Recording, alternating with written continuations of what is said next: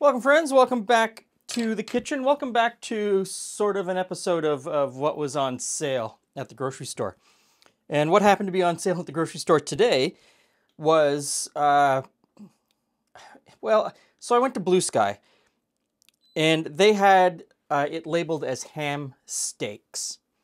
Ham, but fresh ham steak. And so what they had were essentially just inch and a half or two inch thick slices across the leg, bone in, skin on. And so I took half of one and I've cut it up. We're going to use it in a soup. The other half I'm going to freeze and I'll use it somewhere down the road for something else. So as I was standing there looking at the pork, thinking, what am I going to make? I figured I'd make myself some kind of a soup. So in this enamel Dutch oven, I'm going to put a little bit of oil. We're bringing that up to temperature. So the week that I'm filming this, uh, the coming week, I will be working up at Chris's shop at the Edenvale Airport, and we'll be doing some upgrades to Mike Victor uniform uh, to get ready for the summer flying season. So I thought, you know, a soup would be really great. I could put it in a thermos, take it there. I've got a nice hot lunch in the shop. It's still winter here. It's still kind of cold um, in Chris's in Chris's hangar, and I'm gonna do sort of a very loosely based soup um, based around a, a pozole or a pozole. Not really. Um, you know, if you've watched this channel before, I don't really follow recipes all that well. And even when I do, I don't actually follow them. I'm going to take the basic idea. I'm going to add in a bunch of stuff that I really like the flavors of. We're going to put it all together and we're going to see what happens. So, into the pot, heat it up. In goes the pork. And I've just cut that in chunks. We just want to toss it around and sear it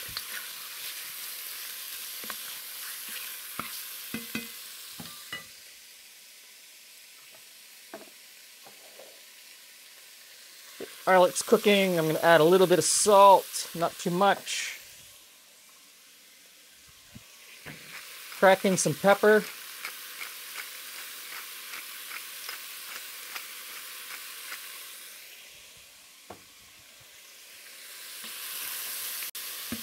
Okay, the pork has got a bit of a sear on it. It's starting to brown a little bit. This is the point where I'm going to add in the next ingredients. So I've got a couple of chopped onions, I've got a couple of chopped up poblanos. That's the thing I love about this supermarket, Blue Sky. Um, they have an amazing array of vegetables that you don't really see at the mainline grocery stores, or, or at least you don't see at the mainline grocery stores around where we live. Next, I'm going to put in some cumin and some Mexican oregano. And I've got a little can of chopped green chilies. Those go in as well. And yes, there are some soups or stews where I would have browned the pork, taken it out, and then browned the onions and the peppers separately and then put the pork back in. Uh, this isn't one where I need to do that. I'm going to, over the five or six hours, this simmers on the stove top. We're going to build incredible flavors. Okay, next in, some salsa verde. Um, I don't really measure. What is that? Third of a jar. That's going to go really well. I like the tartness that comes from that. And I've got some chicken stock. And in goes the chicken stock. So it was about five cups of chicken stock at this point. I might add some later, so I'll reserve that and as this simmers, I'll add the rest of the chicken stock. So I'm going to turn this down to a low simmer, put the lid on, and let this go for about four hours. Okay, busy day in the kitchen. I just took a mock apple pie out of the oven. It's chilling down. I'm about to make pets de sœur with the leftover scraps of, uh, of pie dough. And I'm about two hours away from serving this soup, soup, stew, soup. So we'll give it a bit of a stir, and this is when I'm going to add the beans and the hominy. So we'll put the hominy in first. One can of hominy. And then the beans, I'm going to use a mix of whatever I had in the cupboard. So I've got a can of pinto beans. And I've got a can of black-eyed peas. and a can of navy beans. So I'm going to put those in, stir them in, and let this simmer.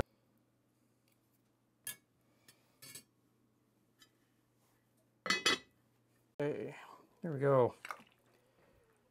Hey, Glen. Hey, Hey, Jules. Prince. Oh, I'm Prince. It's already a spoon. I'm So- all ready. It's going to be hot because it's right from the pot. I see that it's steaming. Oh, look at all those beans. but it's pork based. Oh, so- even the even the even the cup is hot. Yeah. no, the bowl is hot. Sorry. Oh, I don't even think I can pick up the bowl. I'm gonna get myself here. There's the hot mitt. Perfect. I'm good. There we go. Problem solved. Okay, so it's it's pork, beans, uh, peppers, tomatilla salsa. It looks like little exploded corns. Mm-hmm. Hominy. Okay. Yep. Okay. I really like that, but I like pork. Mm-hmm. Julie's not a huge fan of pork. No. Tastes. It has a very pork and beany kind Mm-hmm. of flavor to it. It's very hot. I'm taking small bites because it is super hot. It's got all those fabulous flavors of a really nice pork and bean. And And yeah, because I of the way it. I bought the pork, I got some cracklings. Ugh, you can have them. so not having any of those. Not even gonna try it. Let's not fool anyone. A very broad take on a, on a certain type of soup. You know, adding in my own things, whatever I had in the cupboard. What was on sale at the grocery store? Um, stuff that was in the fridge. All flavors that I knew I liked. All flavors that go together. Sort of respecting the tradition of what this soup is. But it's my kitchen. I made it my own. So, um, this is going to do well for the next few days in the hangar as we work on the plane because it's going to be cold. Thanks for stopping by. See you again soon.